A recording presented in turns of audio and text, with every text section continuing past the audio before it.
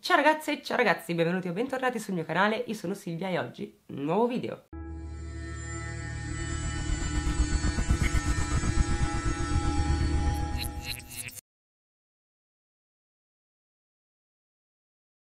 Come al solito vi ricordo che se avete piacere potete anche seguirmi su Instagram, detto questo Andiamoci dentro col video. Oggi voglio portarvi una storia che mi avete richiesto in parecchi e che io non conoscevo affatto. Non vi dirò, come forse impone un po' la logica, quale sia stata la fine di Eva Sacconago nell'immediato. Vi basti sapere che lei è la protagonista del caso di oggi. Piuttosto voglio raccontarvi questo caso nel modo più ordinato possibile. I fatti che vi sto per andare a raccontare sono tutti stati estrapolati da un processo che è già avvenuto. Quindi spesso menzionerò delle frasi che sono state dette durante questo processo e piuttosto che farvi una narrazione avvincente preferisco andare con ordine per non farvi perdere neanche il minimo passaggio di questa storia. Eva Sacconago, come già vi ho detto, è la protagonista del nostro caso. Nasce il 4 settembre del 1983 da Giovanna e Roberto e cresce a Busto Arsizio, in provincia di Varese. Ha un aspetto tutto sommato mascolino, porta i capelli rasati oppure corti. Sono ricci e biondi, ha un sorriso magnifico, accompagnato da dei grandi occhi azzurri. Non è molto alta ed ha una corporatura robusta. È una ragazzina molto solare Eva. Negli studi si applica giusto il necessario perché è un po' svogliata. In adolescenza Eva conduce una vita normale come tante altre ragazzine delle scuole medie della sua età. La sua giornata ovviamente gira attorno alla scuola e ai compiti. Quando torna a casa li fa sempre insieme a mamma Giovanna che le sta vicino e tenta di supportarla negli studi. Prima il dovere e poi il piacere, dice mamma Giovanna ad Eva. Lei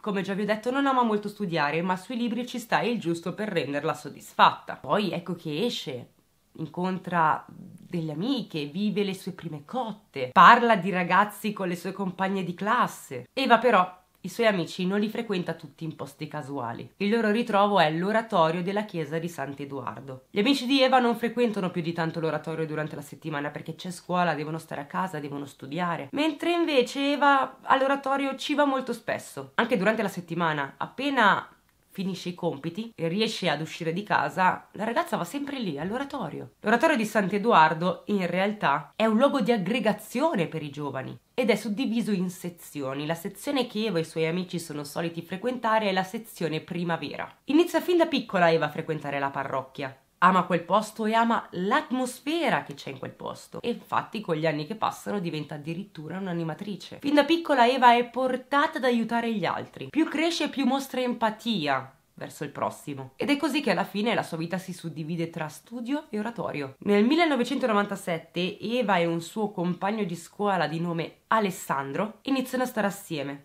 Purtroppo però il loro amore non è destinato a durare. Dopo appena due mesi Eva dice ad Alessandro che sarebbe meglio smetterla di vedersi da fidanzati. Alessandro chiede spiegazioni, prova a capire, ma non ottiene mai una vera risposta da Eva. Se tra loro va tutto bene perché lo ha lasciato? Ma sì, queste sono le storielle dei giovani, no? Quelle che durano poco ma sono intense. Se la verità fosse questa, allora forse questo caso non esisterebbe neanche. La verità qui è dura da capire, è dura da digerire, è dura da sopportare, ma la verità è che Eva, verso la fine delle scuole medie, inizia ad essere sempre meno presente. Le sue amiche continuano a parlare di ragazzi, lei però non li ascolta più. Insomma, è chiaro, qualcosa in lei è cambiato. Emerge infatti in Eva un'enorme crisi esistenziale. È continuamente alla ricerca della sua strada, cerca di capirsi, pensa addirittura di prendere i voti e di farsi suora, ma poi si rende conto che quella in realtà non è la sua strada. I suoi genitori ovviamente sono sollevati da questa notizia. Eva invece questa presa di coscienza la vede come un fallimento. Ha cercato la sua strada attraverso un percorso spirituale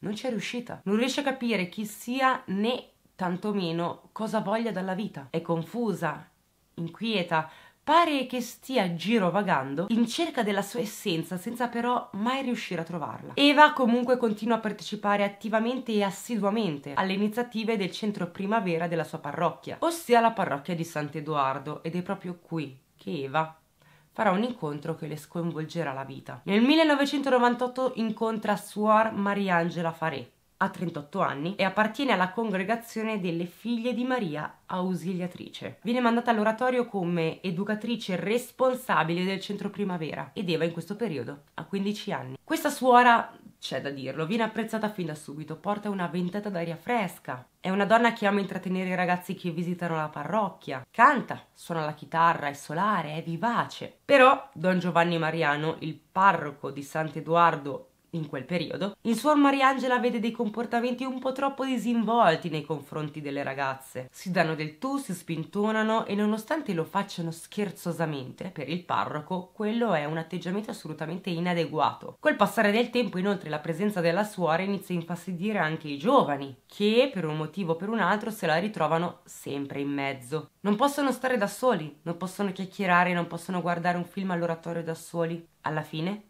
Suor Mariangela spunta sempre. Come vi ho già detto, Eva è una presenza importante all'oratorio. Se i suoi amici si limitano a frequentarlo nel weekend, lei ci va tutti i giorni dopo aver finito i compiti fino alle 6, ossia fino alla chiusura dell'oratorio. Come ovvio che sia, Eva viene rapita da questa suora così tanto carismatica. Ben presto si avvicina a lei e le due instaurano un ottimo rapporto. Le consorelle notano però che Eva spesso e volentieri si ferma all'oratorio anche dopo l'orario di chiusura, quindi sta lì anche oltre le 18. Lì per lì però pensano che Eva sia semplicemente molto legata alla suora, quindi di conseguenza non ci danno molto peso. Capita spesso peraltro che i giovani chiedano aiuto se si trovano in qualche situazione difficile, perché tutti considerano l'oratorio come un luogo sicuro, un luogo dove è possibile esprimere le proprie debolezze, le proprie paure senza problemi. Giovanna, la madre di Eva, un giorno conosce Suor Mariangela e la prima impressione non è proprio delle migliori. Non so se Giovanna abbia fatto bene o male nella sua vita, ma è chiaro e lo si evince del processo che sia una madre fortemente gelosa, a tratti anche ossessiva, lo ammette lei stessa. Alt però, perché qui Eva ha ancora 15 anni, quindi ossessivo o meno a mio parere la sua apprensione non è immotivata. In quanto Eva non abita nel paesello composto da 1500 abitanti dove tutti si salutano, tutti si conoscono, ma abita a Busto Arsizio. E arriva una sera in cui Giovanna si rende conto che la figlia non è in casa. Sono le 18.15 e ancora di Eva non c'è traccia.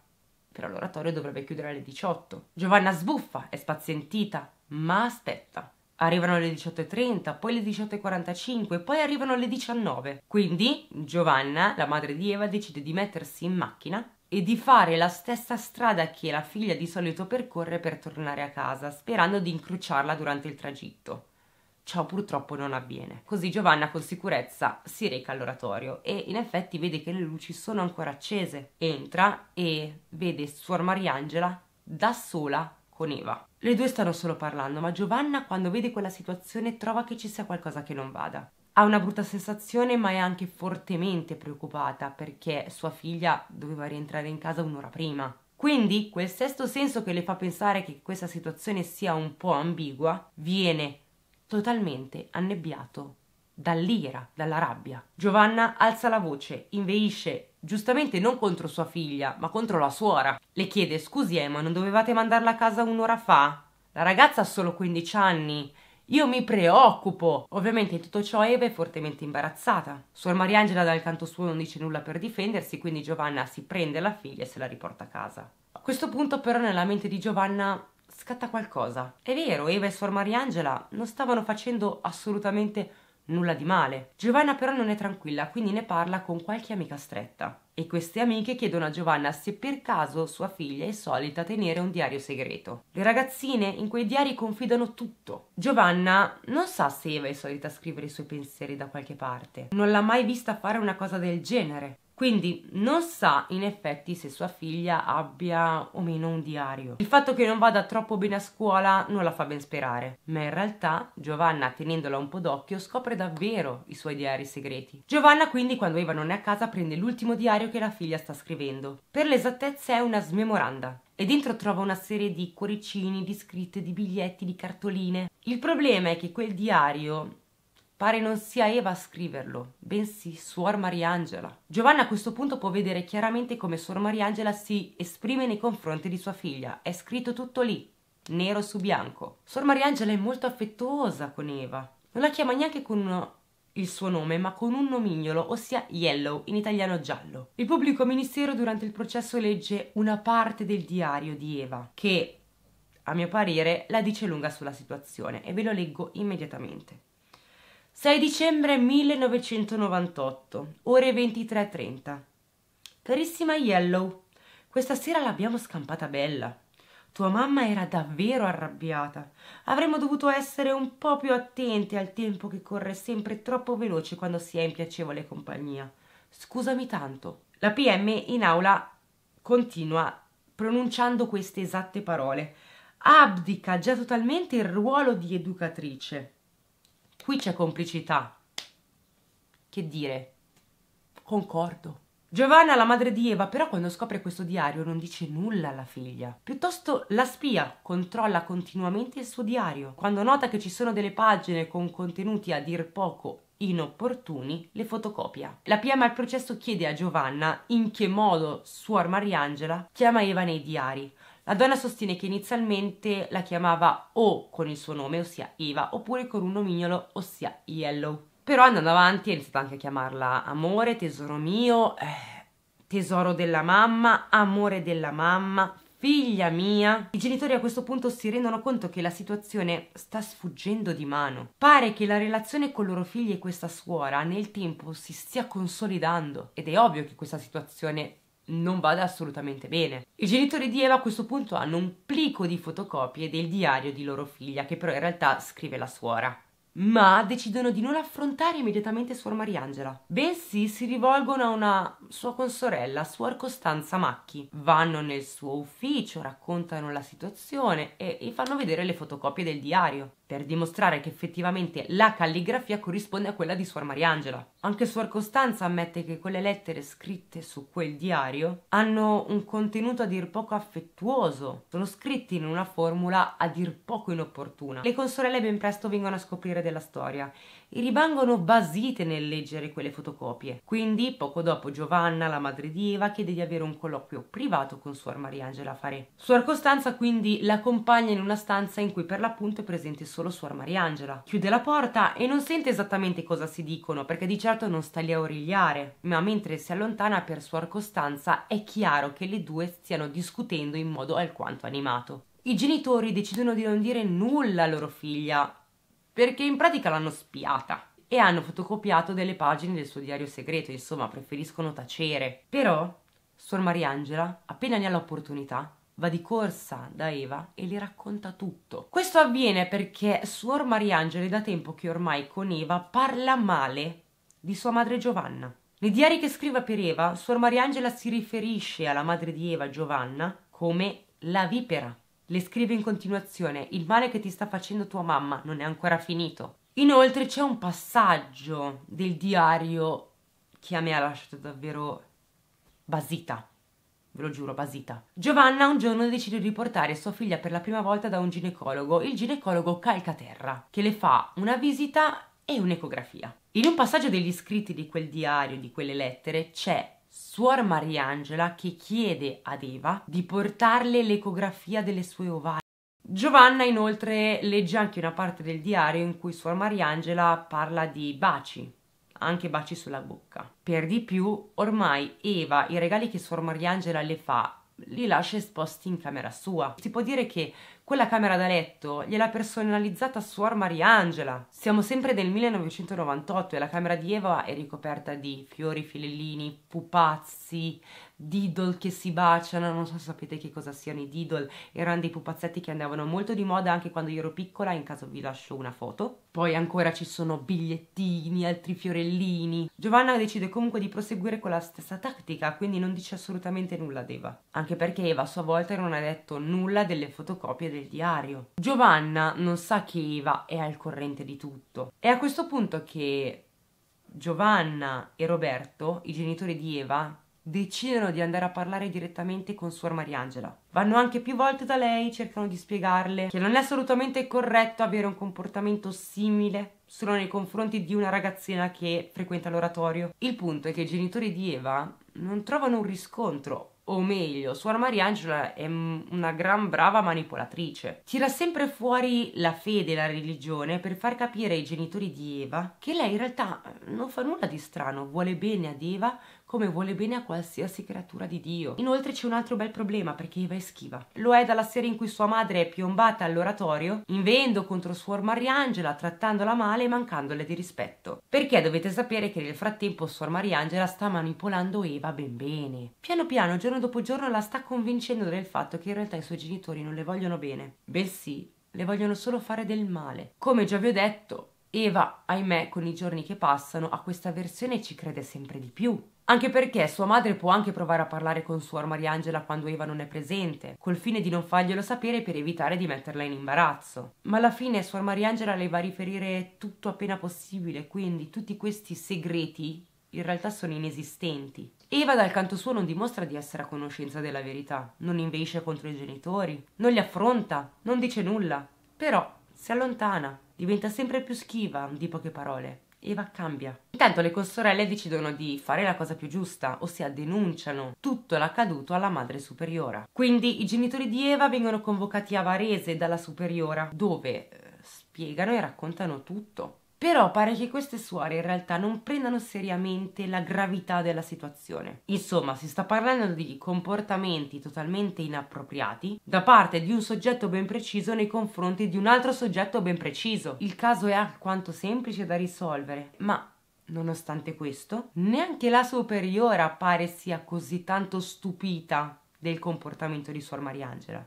L'unica voce fuori dal coro resta Don Giovanni Mariano, il prete della parrocchia di Sant'Edoardo. I genitori di Eva, Giovanni e Roberto, non sanno più cosa fare, non sanno dove sbattere la testa, non sanno che diavolo di pesci pigliare. Quindi a questo punto chiedono di parlare con il prete della parrocchia, il quale finalmente per la prima volta si dimostra sbigottito rispetto a questa situazione. Così dice ai genitori di Eva di fornirgli tutto il materiale possibile, così da consentirgli di recarsi in questura per denunciare lui stesso, Suor Mariangela. A questo punto sono i genitori di Eva che si rifiutano. Giovanna e Roberto sanno che Eva ad una situazione del genere avrebbe reagito malissimo. Quindi per evitare di farla ulteriormente allontanare, evitano di dare qualsiasi materiale utile al prete. Gli chiedono piuttosto di mettersi in contatto con la superiora, per metterla al corrente della situazione, ma soprattutto per comunicarle il suo punto di vista. Insomma, i genitori di Eva pensano che magari la superiora lo avrebbe ascoltato. Così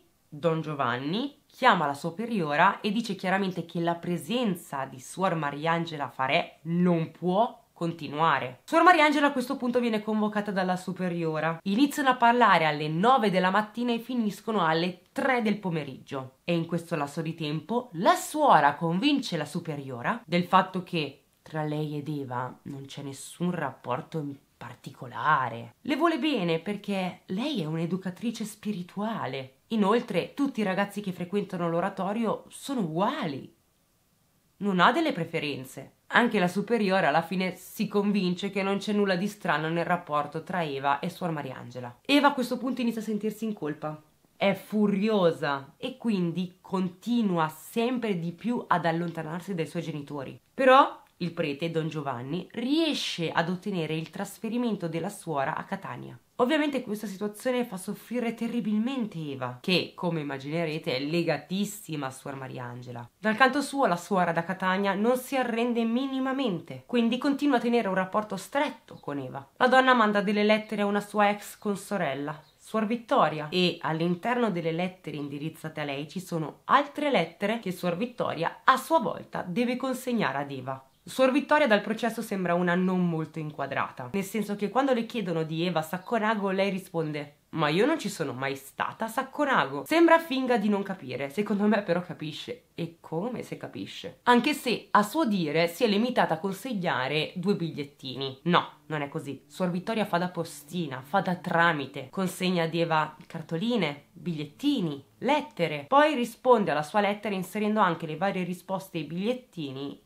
di Eva. Inoltre Suor Mariangela a quanto pare viene mandata a Catania per concludere gli studi e conseguire il diploma. Peccato che gli esami si tengano a Milano e quando Suor Mariangela deve partire da Catania non è mai controllata.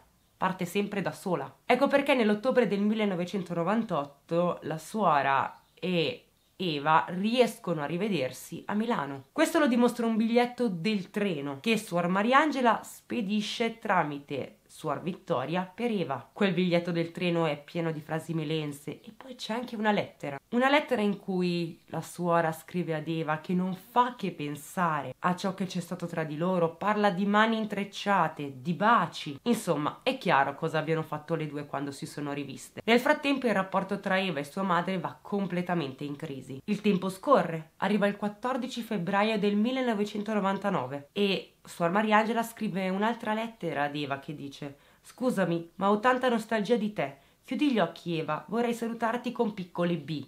B vuol dire baci. Tanti B sugli occhi, sulle guance e tanti B piccoli sulla fronte. Come nel viaggio di ritorno dalla montagna, ti ricordi? E tu, furbetta, facevi finta di dormire.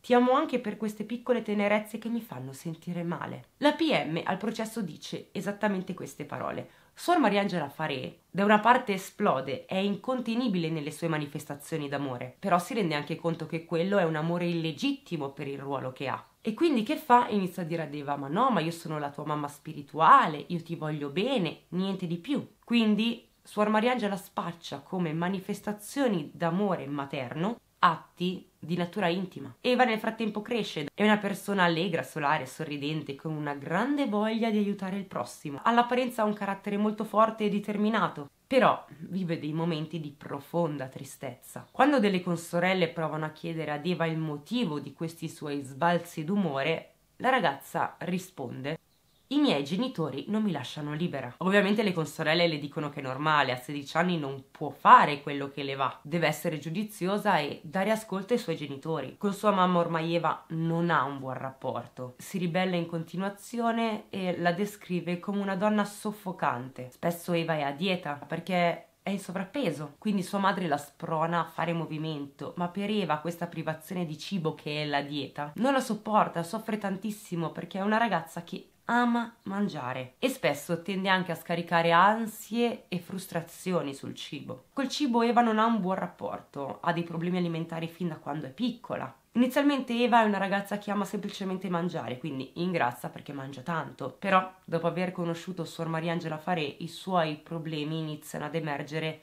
con prepotenza perché Eva diventa bulimia il rapporto con la madre negli anni in cui la suora non è a Busto Arsizio è irrimediabilmente compromesso. Eva è arrabbiata con sua madre Giovanna perché sa che è colpa sua se la suora è stata allontanata. La madre di Eva soffre molto, tanto da rivolgersi ad uno psicologo per riuscire a gestire meglio la situazione. Intanto Suor Mariangela Faré finisce i suoi studi a Catania e torna al nord, diventando a Pavia la direttrice del CHOFS, ossia del centro formazione professionale femminile delle scuole salesiane. Ovviamente i contatti tra Eva e la suora si ristabiliscono, rincominciano a sentirsi ed Eva nel frattempo è diventata maggiorenne, si è diplomata, così decide di andare a lavorare a Pavia come segretaria nella stessa scuola in cui insegna Suor Mariangela al CHOFS. In questo periodo ovviamente i bigliettini che già erano presenti in precedenza continuano ad esserci ed ecco che nel gennaio 2005 ne spunta un altro che ahimè ormai lascia poco spazio all'immaginazione, in quanto Suor Mariangela scrive ad Eva Ti amo, facciamo cose nelle forme più belle ed intime. Sogno di stare nel lettone con te e di accarezzarti tanto dentro, arrivando al massimo piacere con le carezze. Purtroppo è chiaro che a questo punto tra le due c'è una relazione intima e la situazione continua a procedere in questo modo fino al 2006. Tutti questi biglietti, è chiaro, si riferiscono a dei rapporti intimi, ma non è finita qui perché in camera di Eva vengono trovati più filmati in cui lei e la suora stanno insieme intimamente. Al processo descrivono in modo alquanto minuzioso il contenuto di un video, ma io ve lo risparmio, prima di tutto perché YouTube potrebbe emozionarsi e non poco, in secondo luogo perché in realtà non c'è nulla di strano nel rapporto intimo in sé. Il problema qui è che Eva ora ha 19 anni, mentre la suora ha superato i 40. Ma tra le due il rapporto è consenziente? La situazione in questo caso è un po' complicata, in quanto Eva è manipolata e soggiogata da anni da suor Mariangela. Di conseguenza ne è psicologicamente dipendente. Però guardando il video in cui le due hanno per l'appunto questo rapporto, si vede che sono in armonia. Nessuna delle due sta costringendo l'altra in modo evidente a fare qualcosa che non vuole. Insomma, pare che il consenso qui ci sia e come? Gli anni continuano a passare, a questo punto ormai il rapporto tra Eva e i suoi genitori pare essersi rinsaldato. È più equilibrato, ormai Eva è grande, ha 24 anni ed è a questo punto che decide di andare a vivere da sola. Si trasferisce nella nuova casa con il suo cagnolino Coco e tutto sommato la sua vita pare non essere cambiata molto. Prima la sua giornata si divideva tra studio e parrocchia, ora la sua giornata si divide tra lavoro e parrocchia. Eva infatti non smette mai di frequentarla, continua ad essere una presenza fissa, sta all'oratorio e si prende cura dei ragazzini. Giovanna a questo punto è di nuovo una presenza fissa, va spesso a casa sua per aiutarla con le faccende domestiche, si prende cura del cagnolino. Il primo settembre del 2004 arriva Don Alessandro Bonura che diventa il responsabile dell'oratorio. Di conseguenza Eva lo conosce e col tempo costruisce con lui un rapporto davvero molto molto importante. Dal 2004 al 2006-2007 Don Alessandro ed Eva hanno un rapporto normale. Parlano di tanto in tanto, Eva si lascia andare a qualche confidenza, ma non si lascia mai andare troppo, non esagera mai, si contiene. Mentre gli anni passano, Eva stringe un rapporto sempre più saldo con Don Alessandro, quindi inizia davvero a confidarsi con lui. Eva racconta a Don Alessandro della sua vita, gli parla della sua infanzia e poi della sua adolescenza. Gli confida di aver avuto dei dubbi sulla sua esistenza, in quanto non riusciva a capire chi fosse veramente e che cosa avrebbe voluto ottenere dalla vita. Eva quindi dice al Don di aver vissuto questo periodo in cui era particolarmente sfiduciata, però non ha mai smesso di frequentare l'oratorio. È sempre stata una presenza costante nella sua vita vita la Chiesa. Poi Eva racconta a Don Alessandro che un giorno tutto si è capovolto, tutto è migliorato. Perché? Ha incontrato Suor Mariangela Farè. Eva racconta in qualche modo a Don Alessandro il rapporto che c'è tra lei e la suora e principalmente la dipinge in due modi.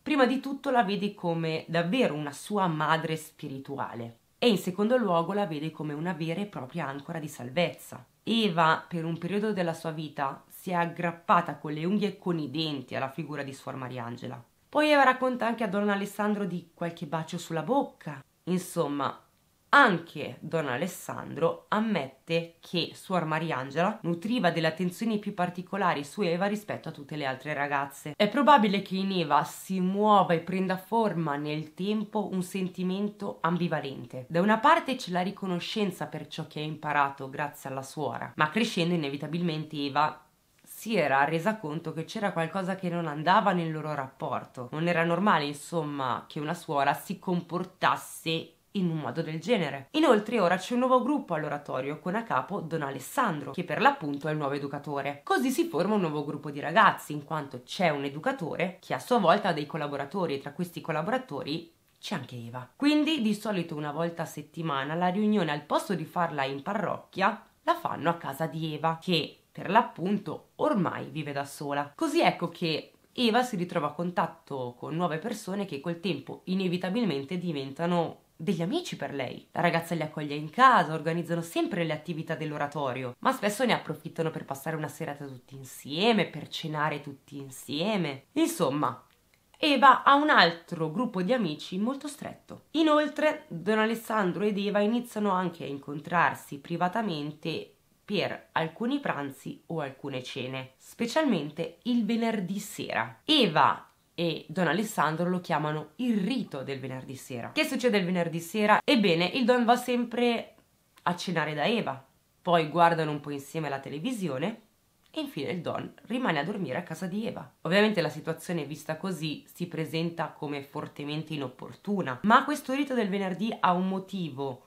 molto più profondo di quanto si pensi. Inizialmente, dobbiamo dirlo, anche in questa situazione Don Alessandro appare un po' ambiguo, anche perché tra lui ed Eva avvengono diversi scambi, sia via fax che tramite messaggi telefonici. Eva in questi messaggi si rivolge al Don in modo affettuoso, chiamandolo addirittura pinguino. A questo punto emerge chiaramente un tratto caratteriale di Eva. Quando si affeziona tanto a qualcuno, si esprime nei suoi confronti in modo davvero molto dolce e tenero. A questo punto Suor Mariangela non vede assolutamente bene la situazione e guarda con ostilità Don Alessandro. Lui ha iniziato a frequentare Eva, l'ha fatta affezionare a sé e in questo modo ha preso il suo posto. Quindi quando la suora sente Eva prova in ogni modo a farla sentire in colpa e ahimè ci riesce. Suor Mariangela le dice che da quando è amica con Don Alessandro la lascia sola, non le dà più attenzioni. Ora non ha più tempo per lei, quindi lei non conta più niente. Inoltre spesso e volentieri Suor Mariangela rinfaccia a Eva ciò che ha vissuto di negativo in passato. La fa di nuovo sentire in colpa per quando, ad esempio, da Busto Arsizio l'hanno mandata a Catania. La suora dice ad Eva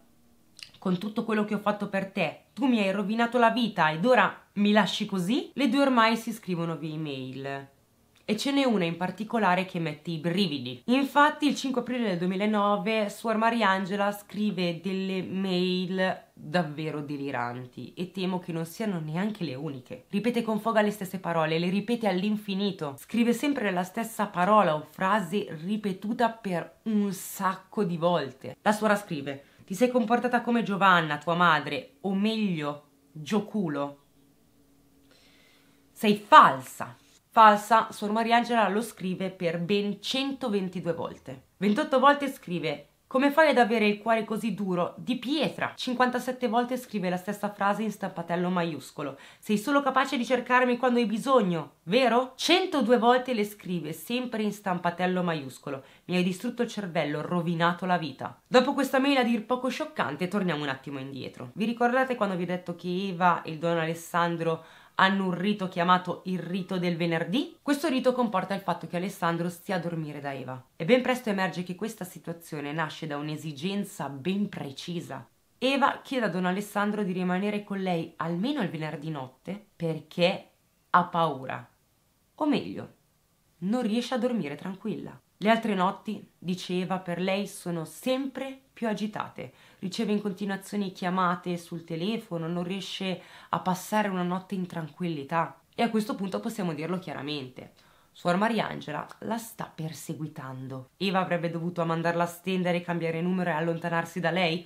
Ma certamente. Ma dobbiamo ricordarci che Eva è stata plagiata da quella donna fin dalla giovane età. Quindi, tra Eva e Don Alessandro effettivamente c'è un rapporto stretto, ma non c'è nulla di ambiguo. Quella che invece si sta rivelando realmente per quella che è è Suor Mariangela Farè, perché a questo punto sta diventando ossessiva, problematica, invadente. Come se non bastasse, Suor Mariangela chiama Eva quotidianamente. Capita spesso di vedere Eva al telefono e ogni volta dice a Don Alessandro che dall'altro capo del telefono c'è la sister, un nome in codice per riferirsi a Suor Mariangela. Queste telefonate peraltro sono anche alquanto lunghe, talvolta sono tranquille, altre volte sono parecchio animate. Quindi, tra le due ci sono dei chiari conflitti. Ormai Eva è cresciuta immagino che dentro di lei regni un'enorme confusione, proprio a causa di questa situazione che si protrae per anni. Inoltre, Suor Mariangela Fare ha le chiavi di casa di Eva e c'è da sottolineare che le suore non possono uscire a dormire quando gli va al limite devono chiedere un permesso alla superiora e comunque l'uscita deve essere ben motivata. Invece Suor Mariangela spesso si presenta da Eva e ovviamente in un primo momento per Eva non c'è problema. Ma col tempo la situazione inizia a diventare alquanto inquietante. Ad esempio, Eva spesso è lì che se la dorme beata in camera sua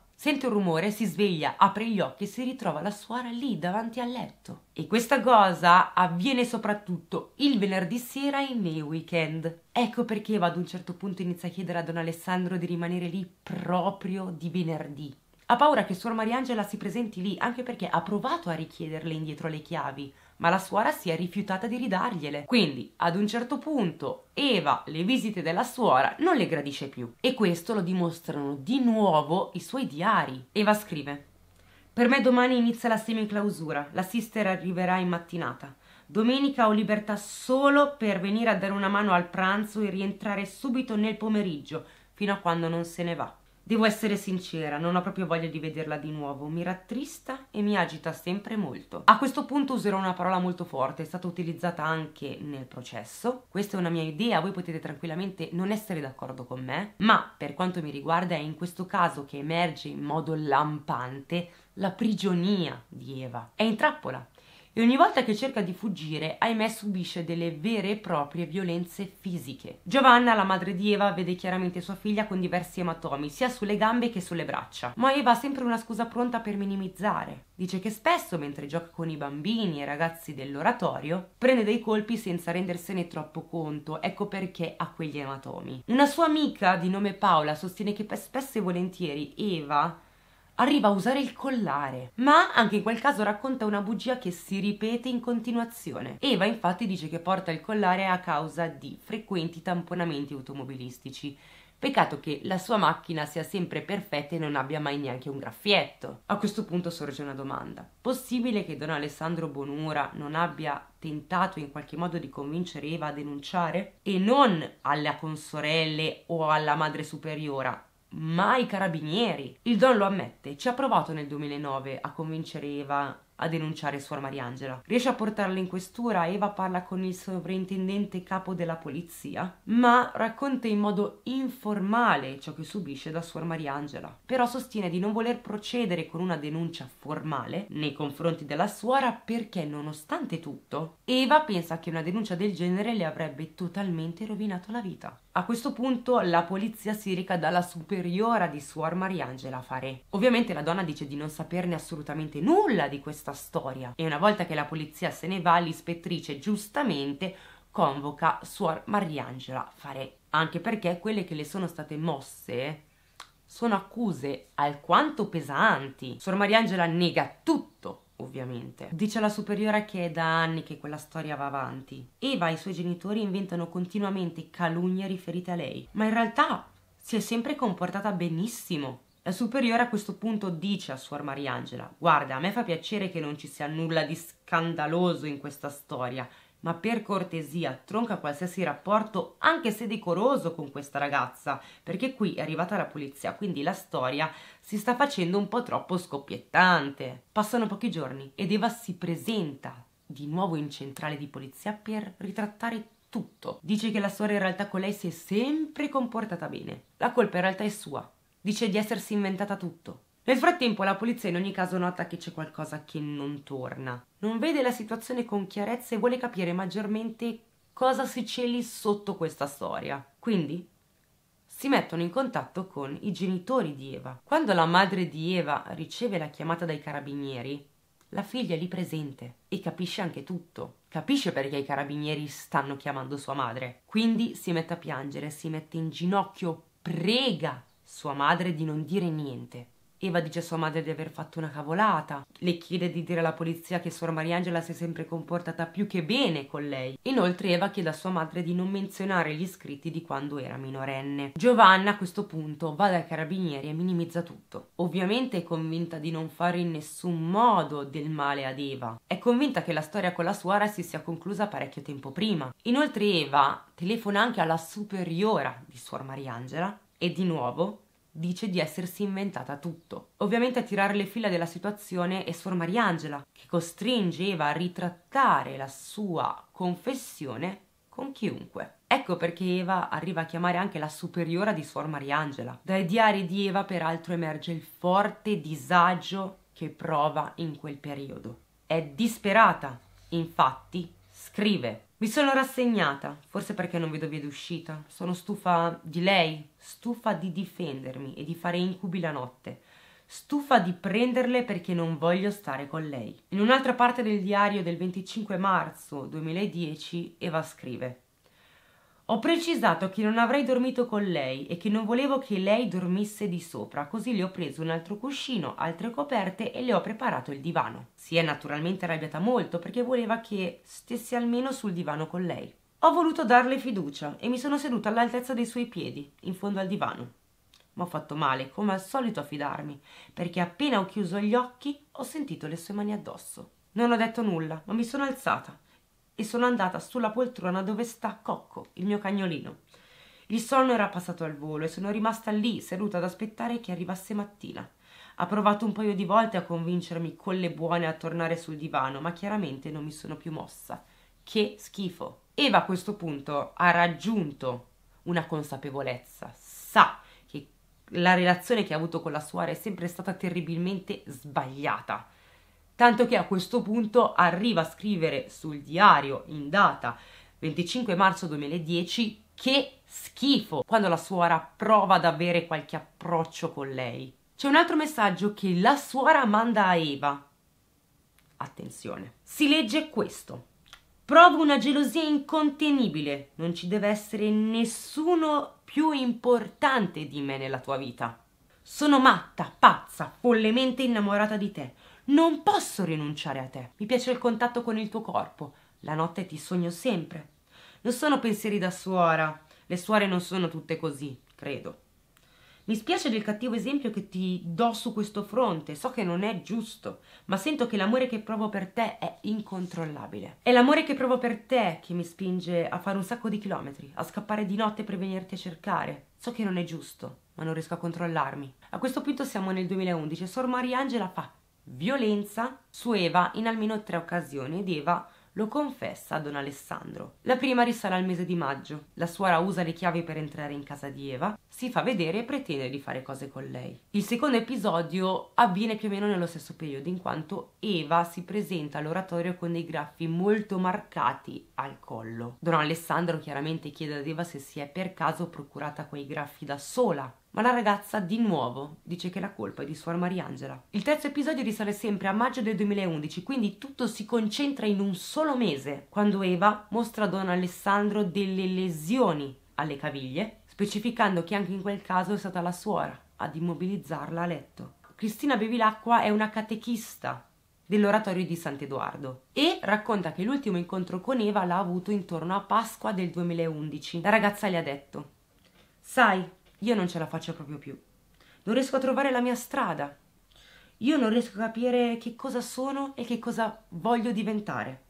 Sto tentando tanti percorsi, ma non riesco a trovare proprio il mio posto. A questo punto, prima di volgere al termine di questo triste caso, voglio parlarvi di Monica Guanzini, un'amica che Eva aveva conosciuto all'oratorio nel periodo in cui era andata a vivere da sola. Un giorno Monica, che anche lei è una collaboratrice, si reca in parrocchia perché in casa è avvenuto un fatto che l'ha turbata e quindi vuole parlarne con Don Alessandro. Mentre Monica si confida col Don, giunge Eva. Di conseguenza le due si incontrano e si conoscono in questo modo. Inizialmente Don Alessandro chiede a Monica se vuole allontanarsi per parlare senza la presenza di Eva, ma Monica dice che non c'è problema. Quindi continua a parlare con Don Alessandro anche davanti ad Eva. A questo punto le due iniziano a parlare. Monica si confida con Eva ulteriormente dopo l'incontro con Don Alessandro, tanto che Eva la invita a casa sua a bere un caffè, perché nota che il tempo passa, ma Monica continua a rimanere turbata. È così che col tempo Monica si apre con Eva. Ed Eva fa altrettanto con Monica. Si apre anche lei, inizia anche lei a confidarsi. Monica con Eva parla di violenze intime. Ed è così che Eva trova il coraggio di aprirsi, di parlare, lo dice. Anche lei è vittima di violenze. Inizialmente però Eva non dice a Monica chi sia il o la sua carnefice, tanto che Monica crede sia una questione familiare, ossia crede che qualche parente abbia allungato le mani, o peggio, su Eva.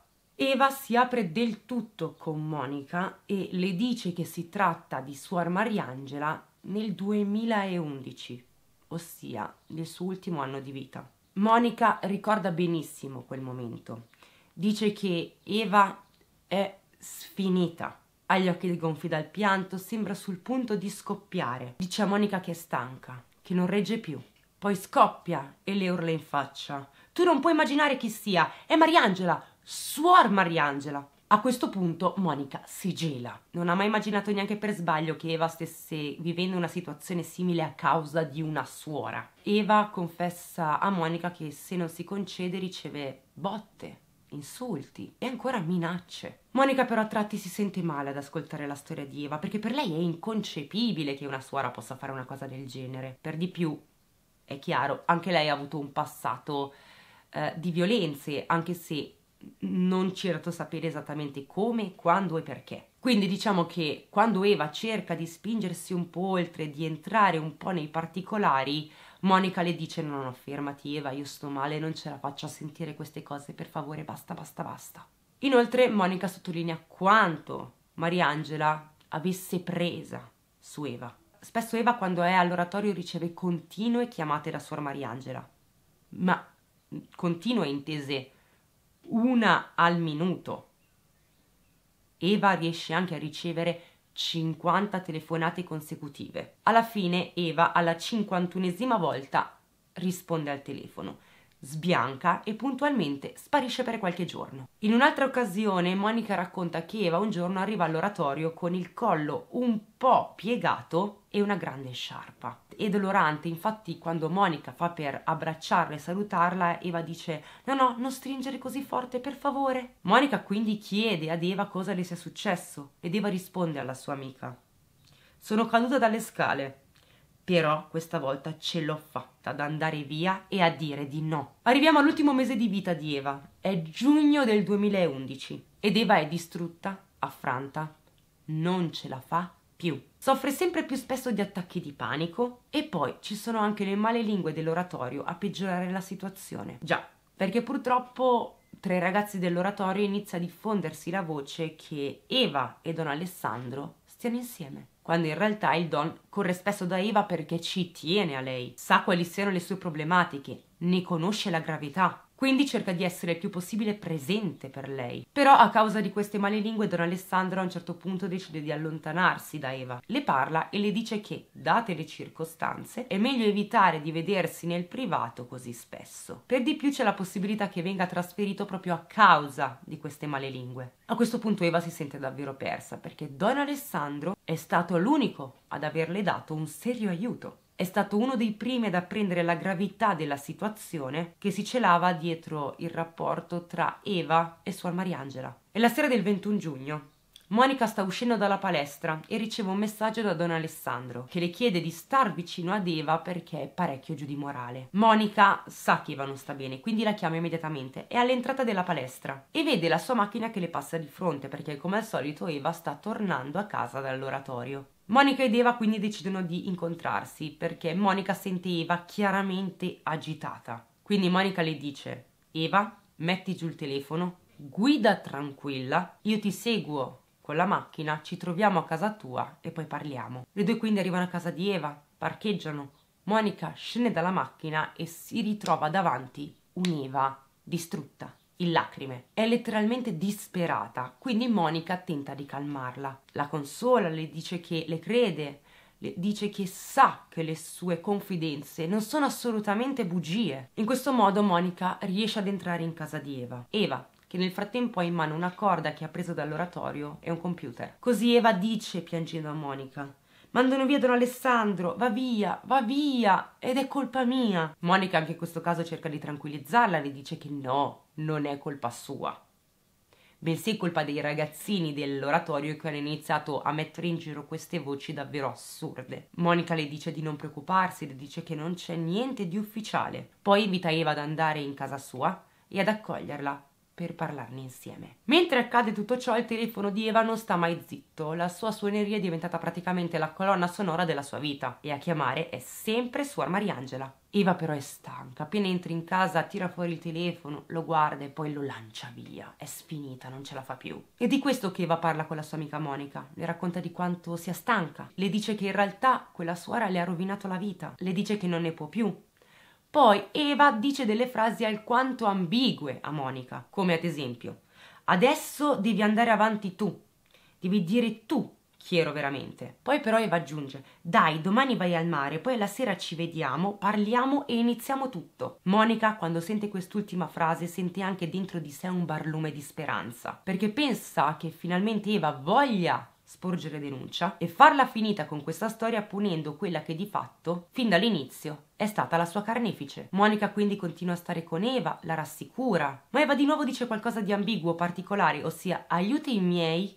e anche Don Alessandro. Monica non capisce, quindi dice sì, sì, ma tranquilla. Eva ascolta questa cosa, la facciamo io e te insieme. Ed Eva pare sia convinta ripete sì sì e poi lo mima anche con la testa. Quindi ad un certo punto Monica va via, torna a casa anche perché ha dei figli ed Eva, tutto sommato, le pare davvero sia più serena. Monica ha già assistito a tante sue crisi, tante volte l'ha già vista in stati simili, quindi non si preoccupa. In serata prova a contattarla nuovamente, non riceve risposta, ma anche in questo caso non si allarma, in quanto pensa che Eva sia crollata a letto sfinita. Così Monica manda un messaggio a Don Alessandro, scrivendo: Sono stata a casa di Eva, era molto in crisi, ma sono riuscita a tranquillizzarla.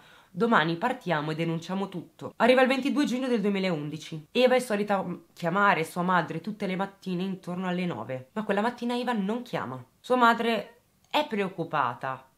quindi prova a contattarla a sua volta, ma non riceve risposta. La madre eh, di Eva, Giovanna, a questo punto chiama la vicina di casa di Eva. Anche lei ha la copia delle chiavi di casa di Eva, ma la prima cosa che chiede Giovanna è di controllare se per caso la macchina di sua figlia si trova ancora nel cortile di casa sua. La donna è ancora a letto e va in effetti alla finestra per controllare se per caso c'è la macchina di Eva nel cortile. E la vede, la macchina di, le- di Eva effettivamente è lì, nel cortile di casa sua. Giovanna quindi chiede alla vicina di prendere le chiavi di casa di Eva e di andare a controllare. La vicina quindi scende, fa per entrare a casa di Eva, ma trova la porta d'entrata spalancata le chiavi a terra e la luce accesa. La donna entra, inizia a chiamare Eva, ma a primo impatto non la vede. Tutto sembra normale. Quella casa è in perfetto ordine. Poi la vicina nota qualcosa con la coda dell'occhio. Si gira e la vede. A primo impatto le sembra che stia dormendo in piedi. Quindi con questa assurda idea la vicina le va incontro, la chiama, inizia a strattonarla. Ma Eva non dà segni di vita. Giovanna, la madre di Eva, nel frattempo è ancora al telefono. Sta ascoltando tutto e ad un certo punto sente la vicina che dice Oddio, e adesso che faccio? Giovanna a questo punto ha già capito e quindi chiede alla vicina di chiamare i soccorsi. Ai carabinieri quindi arriva la segnalazione di un avvenuto suicidio, mentre Giovanna corre a prendere la macchina per raggiungere casa di Eva, che alla fine dista pochi chilometri. Intanto chiama incessantemente suo marito Roberto, che lavora in banca e purtroppo, come spesso accade, quella mattina tutti i telefoni sono intasati. Giovanna fortunatamente riesce a mettersi in contatto con un collega di lavoro di Roberto e gli dice Vai subito da Roberto e digli che deve venire a casa di Eva. Non mi deve richiamare, deve venire qui. Il collega quindi raggiunge Roberto, che in quel momento è in riunione. Nonostante ciò lo chiama immediatamente e gli dice Roberto ascolta devi andare a casa di tua figlia Eva. Anche Roberto dal tono di voce del suo collega capisce che è successo qualcosa di grave. Chiede quindi ad un suo amico e cliente cardiochirurgo, che fortunatamente in quel momento si trova in banca, di accompagnarlo. Roberto quindi si dirige a casa della figlia sia col suo amico cardiochirurgo che col direttore della banca che di base lo seguono per aiutarlo, per supportarlo, non sanno cosa sia successo veramente, ma cercano quantomeno di dargli un appoggio. Quando Roberto arriva a casa di Eva trova una folla di curiosi che hanno chiaramente la faccia preoccupata. Vede il personale medico e infine vede la pattuglia dei carabinieri. Roberto non ci pensa due volte, si precipita a casa di sua figlia Eva e trova purtroppo sua figlia legata ad una corda, impiccata nel salotto di casa sua. Attorno a lei c'è il personale sanitario che tenta di visitarla, stanno misurando i parametri vitali. Roberto quando vede la scena non ci pensa due volte, si dirige verso il personale sanitario, inizia a slegare la corda e poi dice o la tirate giù voi o lo faccio io dal momento che è mia figlia. Quando i carabinieri entrano nell'abitazione trovano la casa in perfetto ordine. Eva, che purtroppo non è più in vita, giace su un divanetto. Le ore nel frattempo passano e anche le amiche di Eva lo vengono a sapere, lo viene a sapere anche Don Alessandro. Quando Monica lo scopre è esterrefatta. Pensava davvero che ci sarebbe stato un nuovo inizio. Ed era tornata a casa la sera prima con una speranza in più perché Monica, Eva la voleva aiutare, era pronta a fare tutto per lei, le voleva un bene dell'anima. I giorni passano, sono confusi, i genitori di Eva non ci credono, sono inebetiti, stanchi, increduli. E purtroppo si ritrovano Suor Mariangela Faré anche al funerale di Eva. Inoltre, ogni volta che i genitori di Eva, Giovanni e Roberto si recano al cimitero per far visita a loro figlia, si trovano sempre lì Suor Mariangela che prega. Ha gli occhi chiusi, finge che nessun altro possa andare a visitare Eva se non lei, la sua mamma spirituale. Giovanna, peraltro, al processo racconta anche che al giorno dei morti sono andati di buon mattino al cimitero, sono stati lì ad aspettare e la suora è rimasta lì a pregare per tutta la mattinata. Quindi i genitori di Eva il giorno dei morti non sono neanche riusciti ad andare a trovare al cimitero loro figlia. Dopo il suicidio di Eva, Suor Mariangela prova a mettersi in contatto con tutti i ragazzi dell'oratorio che conoscevano Eva e chiede loro spiegazioni perché non capisce come la sua bambina possa aver fatto quel gesto estremo. Alla fine tutti si ritrovano a consolarla perché di base Suor Mariangela si chiede perché Eva non si sia confrontata con lei perché non le abbia detto nulla? Pensate che Suor Mariangela arriva addirittura a chiamare Giovanna, la madre di Eva. Si dispera anche con lei, tanto che alla fine è Giovanna, la madre di Eva, che si ritrova a consolare la suora. Così eh, Giovanna a un certo punto si arrende e va comunque alla tomba della figlia anche se c'è perennemente Suor Mariangela. Intanto Monica pensa. Pensa alle ultime parole che le ha detto Eva prima di farla finita. Adesso però devi andare avanti tu. Sei tu che devi dire chi ero veramente. Monica non ci pensa due volte, va dai carabinieri per denunciare tutto. Spiega che conosce Sacconago Eva, la ragazza morta su è ritrovata in casa sua il 22 giugno del 2011 ed è così che Monica racconta tutta la storia di Eva. Racconta come Suor Mariangela Faresi è entrata nella sua vita quando aveva 14 anni, per rovinargliela irrimediabilmente fino a portarla a quel gesto estremo. A questo punto scattano le indagini e dispongono una perquisizione domiciliare a casa di Eva. Ed è qui che si apre il vaso di Pandora. Gli inquirenti scoprono 12 anni di lettere, di bigliettini, di fax, di video, di diari segreti. I tabulati telefonici sono allarmanti perché emerge che Suor Mariangela chiamava Eva perennemente, in continuazione. Riusciva anche ad effettuare 100 chiamate al giorno solo ed esclusivamente ad Eva. Emerge in questo modo la verità di Eva, che credo sia la parte più importante. E emergono anni di manipolazioni, di ricatti emotivi. Chiaramente Suor Mariangela è colpevole, sia moralmente